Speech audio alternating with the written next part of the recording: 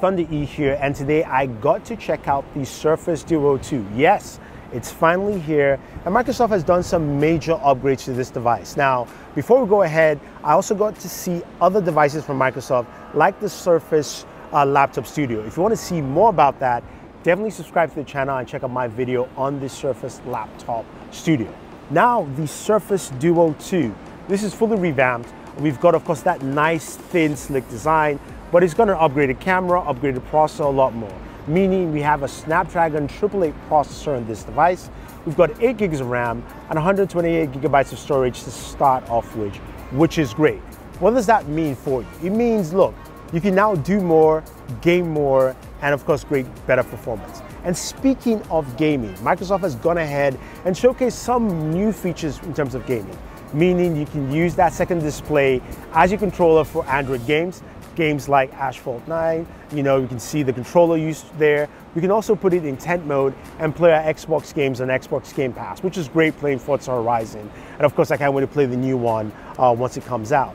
But uh, the other thing is that you can also use the second display as a controller for your Xbox game. So you can map your controls there, you can use it, and it felt really good. Now, I will give you my full gaming review once I get it in-house to play, but honestly, that was a really solid experience. Now, the cameras are improved. You have a 12 megapixel main sensor, 12 megapixel telephoto with a 2x zoom, and a 16 megapixel ultra wide camera. Microsoft has listened, they've improved the, the cameras on this device and it records at 4K 60 as well. So better cameras, we'll see how that works and see how it pairs against its competition. But I like that there. Now this comes with a 4,440 milliamp battery, so bigger battery. The problem is all day battery life with about you know 15 hours of talk time, which is nice. It's also a 5G capable device overall, but I like what I'm seeing here from Microsoft. They've done a lot of things to reshape device, keeping some of that unique slick form factor from last year.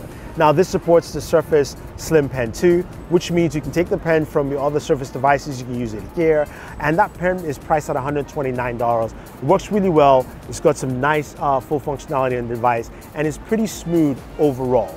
Now, the Surface Duo 2 is priced at $1,499, so uh, basically almost $1,500. And this is a very solid device in general for what I'm seeing, but I have to showcase it at home once we start gaming. So let me know what games you want to see, Android games, what games you want me to play on Game Pass, Stadia, and all that fun stuff. And also emulators, we'll try that out too on the Surface Duo 2. If you got any questions, any comments, let me know. Also check out our Surface uh, studio laptop video, and always enjoy entertainment.